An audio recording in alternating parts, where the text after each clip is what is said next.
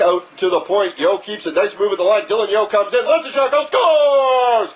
Dylan Yeo lets one rip. And just like that, it's 2 nothing Kings. Dylan Yeo has been on fire. That's three goals in three games on this road trip. All of them have been effective. All of them have been pretty.